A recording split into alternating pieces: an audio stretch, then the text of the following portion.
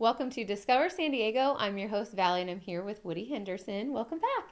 Glad to be here. Thanks for having me. So, you're all over the map when it comes to San Diego, but we really want to dial down into Kensington and learn about that market. Yes, I love San Diego, and I particularly love Kensington.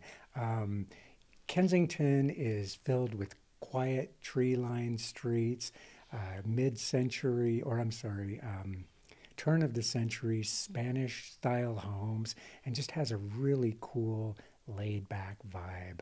Shops and restaurants, trendy boutiques, just a great place to, to hang out or live in San Diego County. If we were going to geographically pinpoint Kensington on a map, what how could we point out where that is? So it's just um, just west of San Diego State University Okay. and just east of Normal Heights. So off of Highway 15, just east of, of uh, 15 and south of Interstate 8.